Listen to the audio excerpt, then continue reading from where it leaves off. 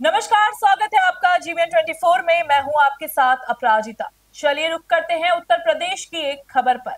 बहराइच शहर बीचों बीच स्थित मेडिकल कॉलेज, जिला अस्पताल में पानी भरने के बाद लोगों को नाव का सहारा लेना पड़ा।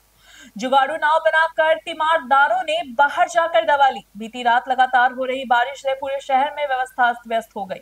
उसी क्रम में आप मेडिकल कॉलेज की तस्वीर देखकर अंदाज़ा लगा सकते हैं कि किस प्रकार से पानी भरा हुआ है, जिससे लोगों को आने जाने में काफ़ी कठिनाइयों का सामना करना पड़ रहा है।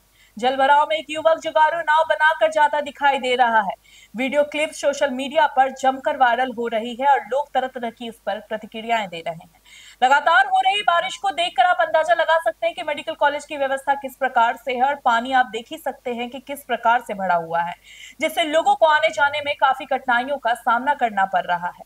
वही लोग पूरी तरीके से मुसीबत में है। अब क्या कुछ कहा जाए, आप खुद देखकर अंदाज़ा लगा सकते हैं कि किस प्रकार से जल भराव की समस्या जिला अस्पताल मेडिकल कॉलेज में बनी हुई है। तो फ़िलहाल के लिए इस खबर में बस इतना ही। ऐसे उत्तर प्रदेश से जुड़ी जानकारी के लिए बने रहे हमारे साथ और देखते रहे। GVN twenty